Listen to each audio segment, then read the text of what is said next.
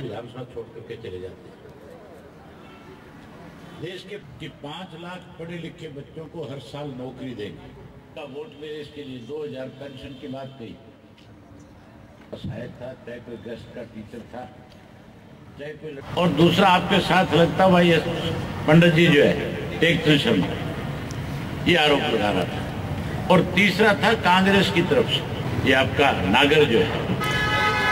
ये तीन लोग उससे आरोप लगा रहे थे। दो तो ये कह रहे थे कि ये इलीगल कंस्ट्रक्शन कर रहे हैं। उसको रोका जाए। मैंने काम कहा, देखो, आज आपकी पार्टी का खुद एमएलए खड़ा होकर के कहता है कि एक मामा नाम का बदमाश है जो इलीगल कंस्ट्रक्शन कर रहा है आपकी सरकार उसको रोकने की बजाय उसको संरक्षण दे रही है, उसको बढ़ावा दे रही है। लोगों ने भारतीय जनता पार्टी के किए हुए वायदों के मुताबिक उनको वोट दे दी और इसी छूट का नतीजा है, साथियों एस वाई एल नहर को लेकर केंद्र की सरकार को है कि 23 फरवरी तक नहर का निर्माण शुरू करो।